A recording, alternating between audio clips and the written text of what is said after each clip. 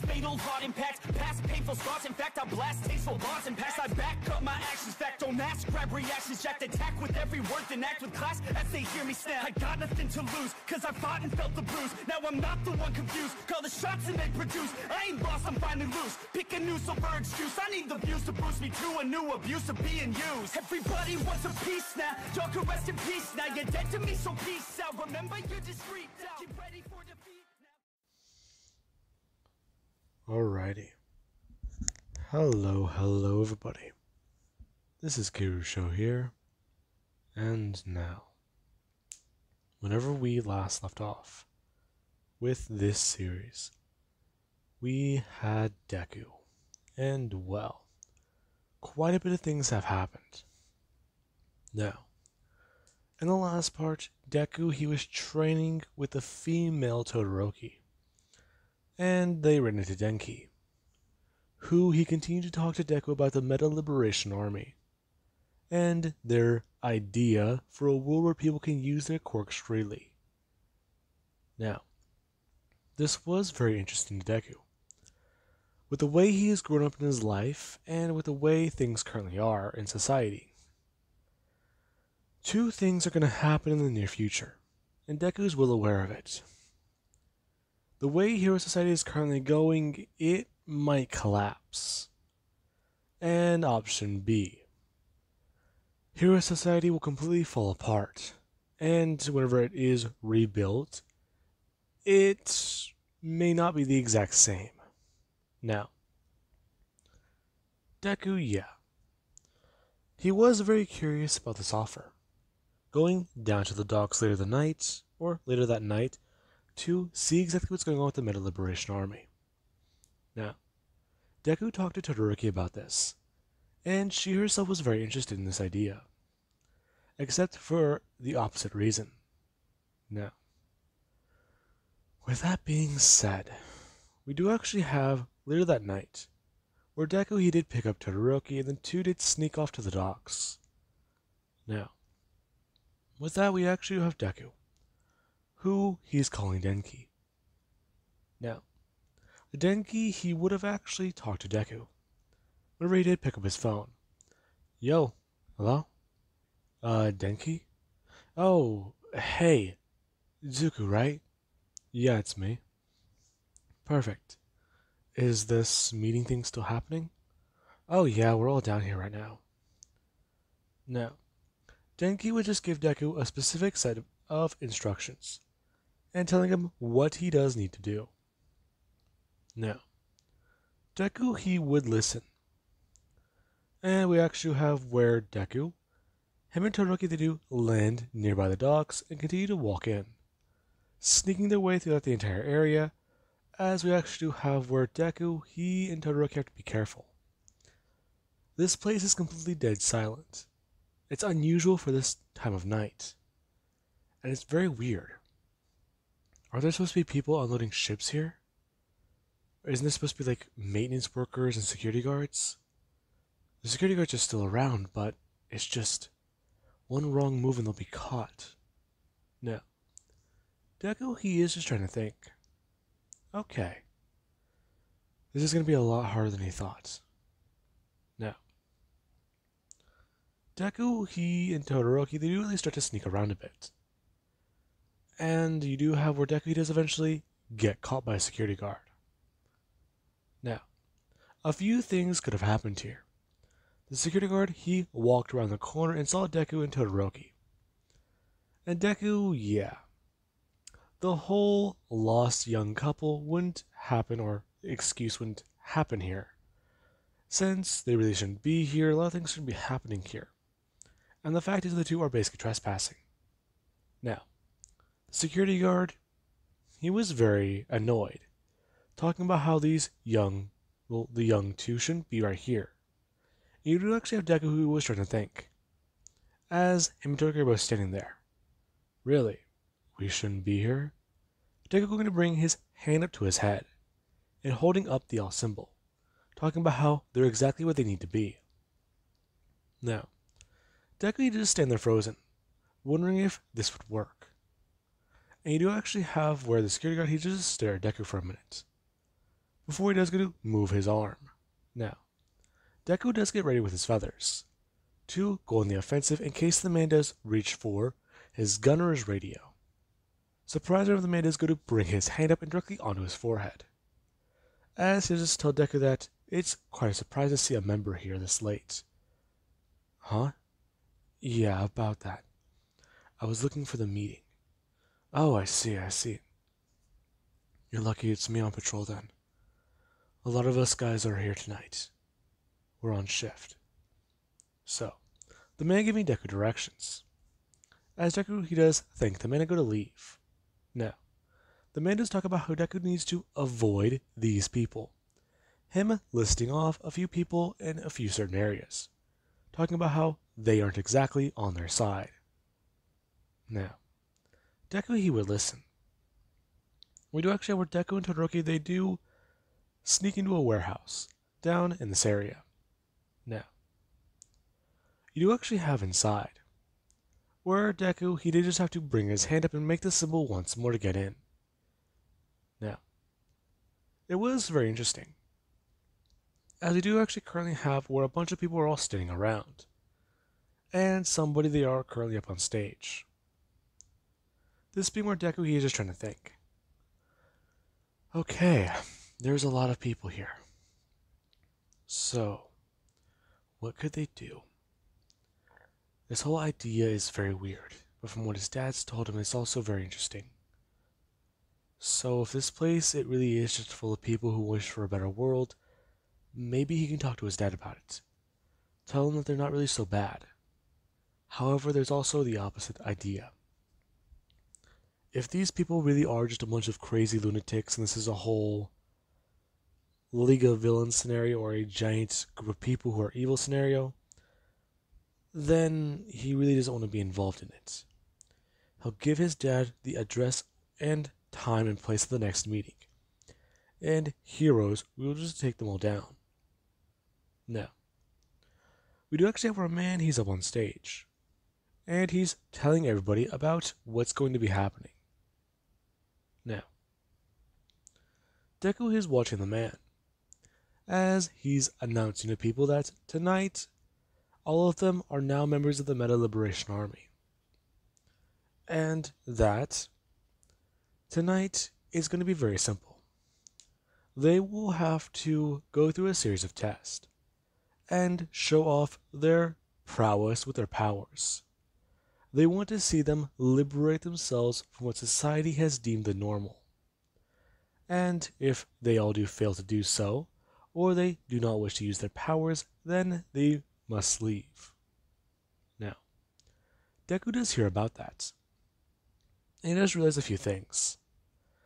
That's not good. Now, he is just wondering his two powers, his face, his name. He didn't really think this completely through, did he? He has a rabbit quirk and a bird quirk. So, this is not good Now, you do actually have where everybody they do get split up into groups. And yeah, Deku and Todoroki are both in the same category. As we do have after a bunch of groups have already run certain tests. They get moved to the next, and we do actually currently have Deku and Todoroki.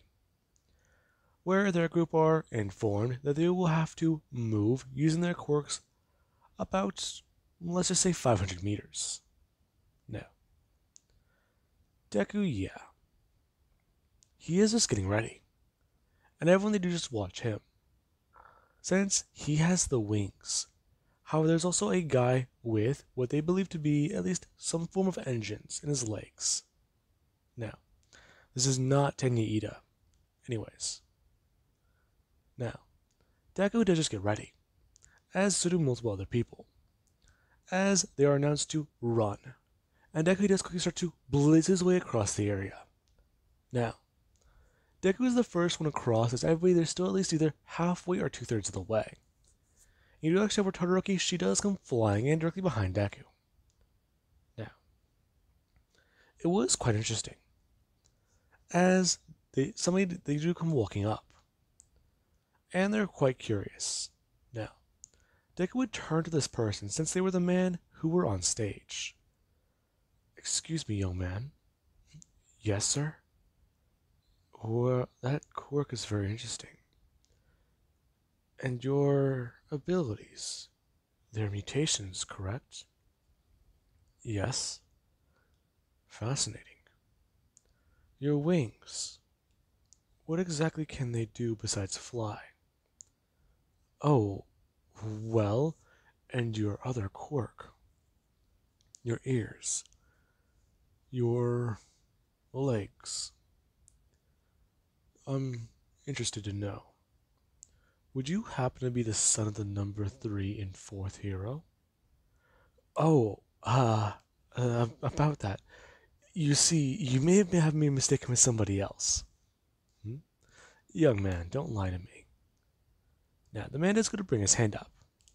And Deku his wings, they do immediately go back to folding out. As the man, he does just go to bring up his hand to tell him that it's alright. Hmm? What? It's alright, young man. We don't really blame you. You wish to get away from that form of society, correct?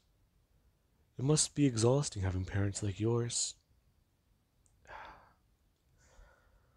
Ah, I mean, it is, yes, but still.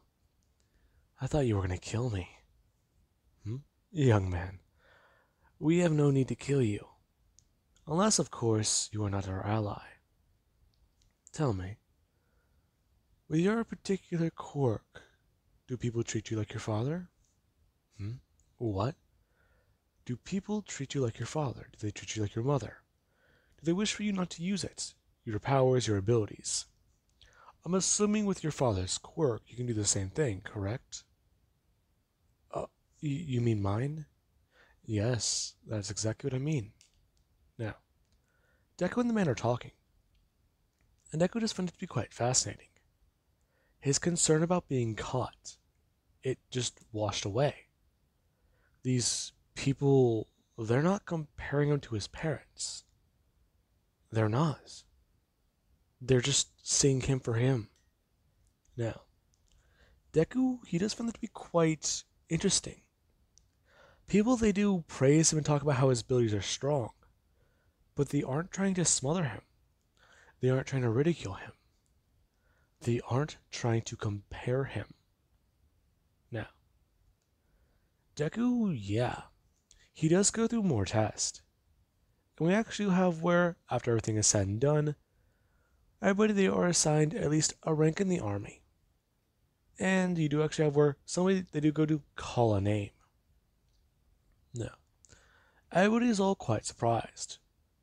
Whenever Deku does come flying on stage, and they do at least hear his name. Izuku Takami.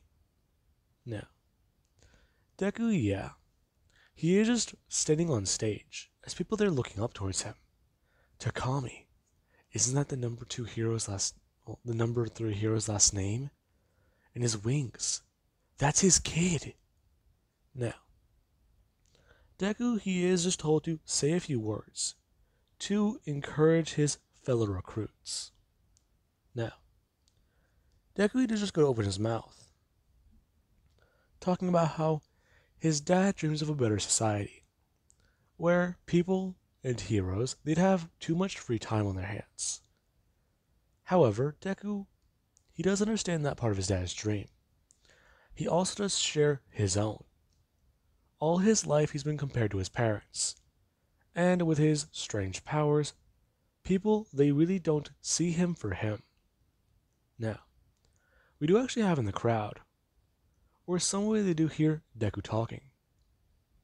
Now, we actually do have where Deku does go to reach his hand out, and some way they do come flying up on stage. As you do actually have Todoroki with a feather attached to her shirt.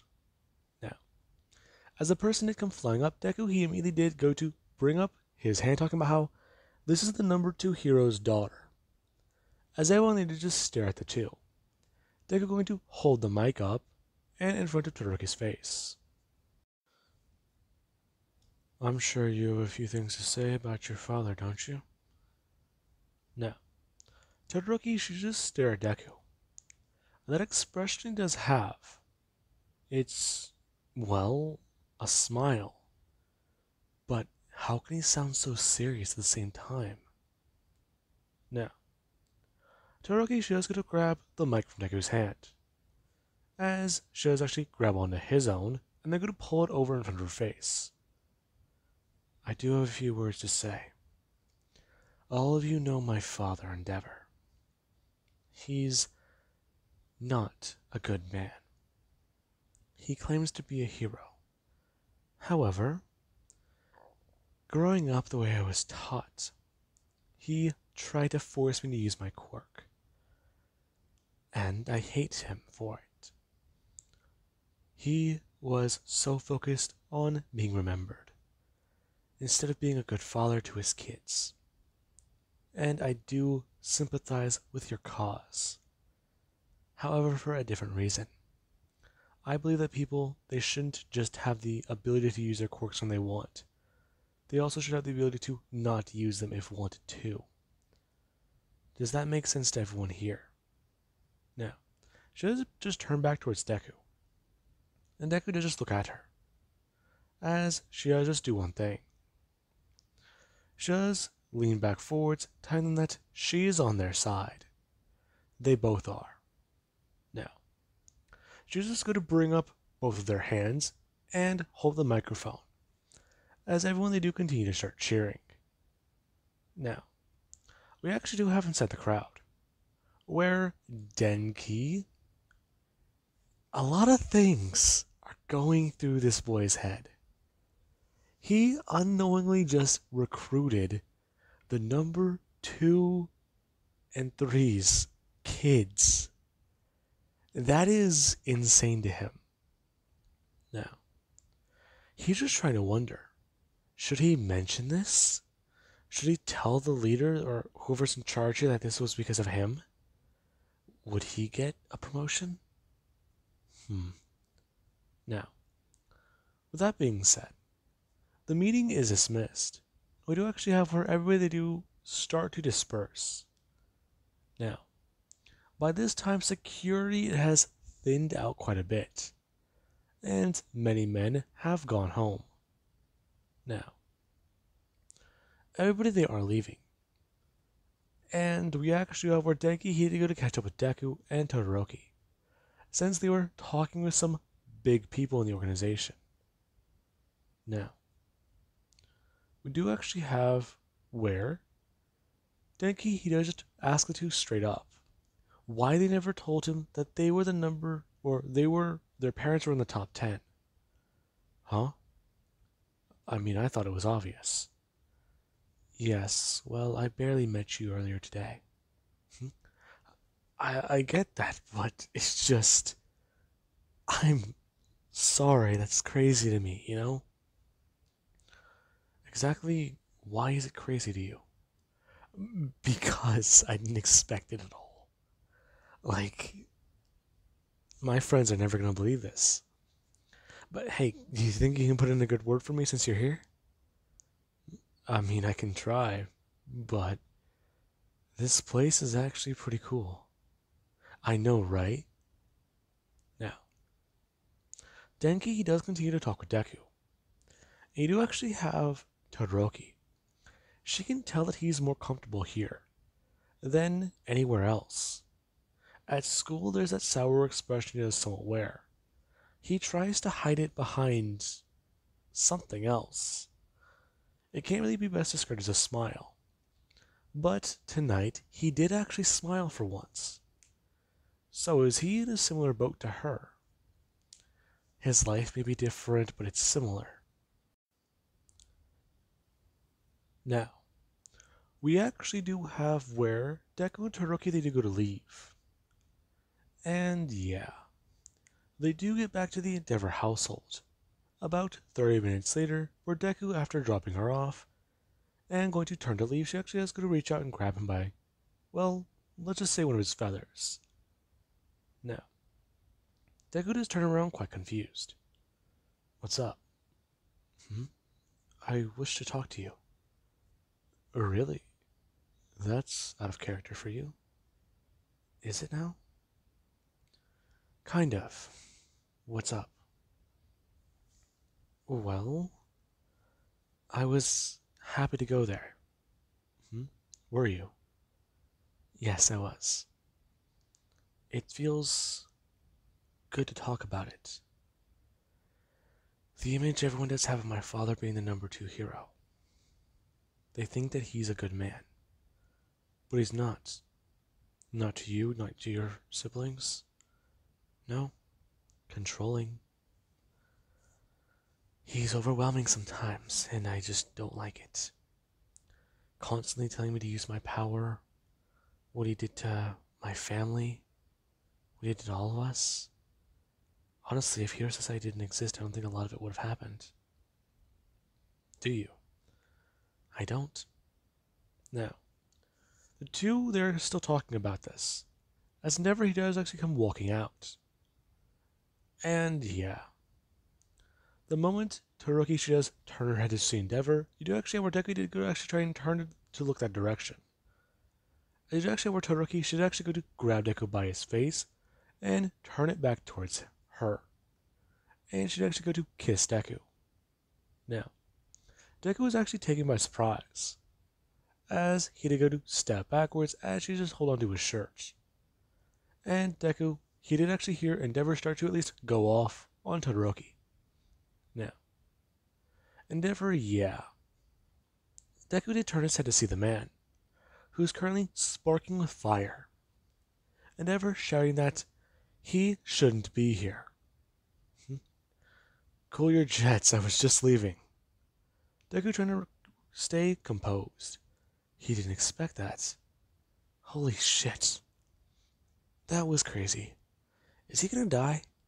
He feels like he's going to die.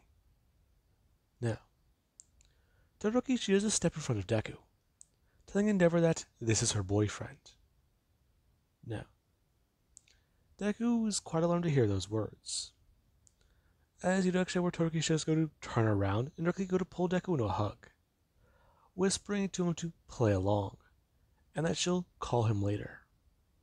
Now, Deku, he does somewhat start to pick up on what's going on. Okay, so the two just snuck out late at night. This is a good excuse, yeah. Deku wrapping his arms around her and talking about how the two, they've been dating for a little bit of time. Now, Endeavor, he's, well, just annoyed at this, talking about how Shoto, she shouldn't have a boyfriend. And she just talk about how she would never have told him if he didn't just catch them red handed. Now, Endeavor is very annoyed. Exactly what was going on tonight? And why was she gone? Now, Todoroki should just going to head towards her room. As Endeavor, he just start to make his way closer to Deku and talk about how he wants to talk to the young man. Deku is going to bring up his hands and going to put up two fingers. As he does just, well, say later, and then going to quickly fly away. Now, Endeavor, he is very annoyed, as he does still try to talk to Shoto about exactly what she was doing. Now, with that being said, we do actually have later, where Todoroki shows at least talk to Deku. And yeah, she does fill him in on exactly why she did everything that she did just that she did just do. With the fact that their parents are pro heroes, the idea of sneaking out at night and joining the army, it would be a bad idea for them to hear. How if their parents do just think that they're sneaking out at night and, well, going out to see a girl or a boy, it's a lot easier to explain. They can be a little bit less secretive about their life, since technically they do spend time together. Along with that, with how Endeavor did react as seeing Deku again, and late at night this time, it was a perfect idea. So that's why you kissed me? Oh yeah, you should see the look on his face. He's still angry now. Maybe, but still. Next time, can you warn me about a plane like that? I mean, hey. I don't necessarily think that you mind it, did you? No, not at all. It was just. very surprising. Now, with that being said, I do hope you guys enjoyed. And have an amazing day. I'll catch you guys in the next part.